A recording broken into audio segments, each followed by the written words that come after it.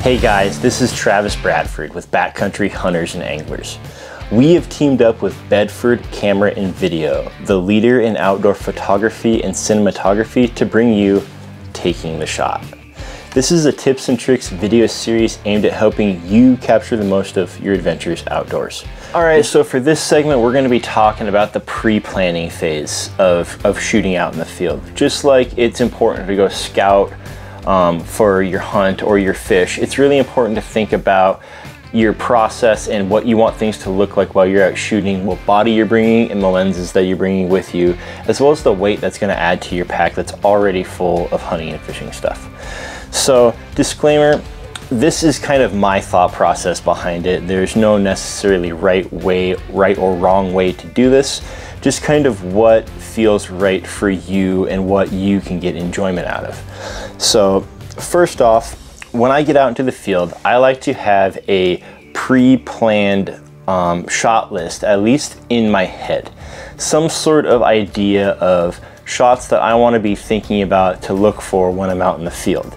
You have to think about your eye being your first initial shot that you're that you're going to shoot. This is kind of thinking about what imagery, um, whether you want to shoot just photos, shoot videos, or both, but really thinking about how you're going to be capturing stuff with your camera body. So for me, I'm a huge Sony fan. Um, I've been a big fan of their mirrorless line ever since they came out years ago, but that is my personal preference. I know plenty of shooters who use Nikon, plenty of shooters who use Canon, and they get great results. Really, it's gonna be what is easy for you to use when it's in your hands. Next, I'd like to talk about focal lengths. When I'm going out into the field, I like to be thinking about the weight that's going to be on my back, aside from, you know, all of the hunting and fishing stuff that I am carrying with me when I'm going shooting.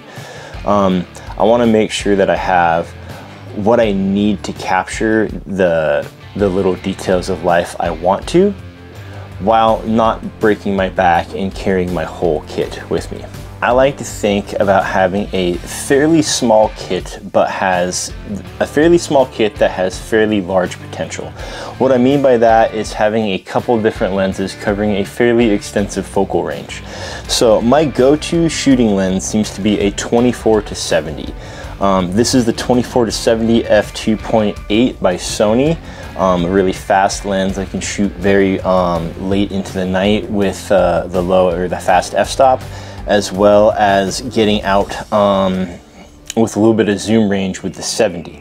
If I'm needing to reach out there and get a little bit farther, I'm looking for a little bit more detail, I'm gonna pull out the 70 to 200. Um, this is gonna give you a much more significant focal range than that 24 to 70. Um, you can reach out and touch um, some things out there that you just can't with this 24 to 70. So having a couple different lenses in your kit that you can that can cover a large extent of your focal range that you're wanting to shoot is going to be very, very, very helpful.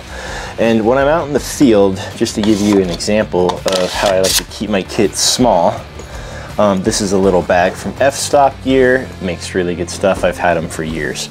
I can fit this camera in there. Get this guy all wrapped up and boom.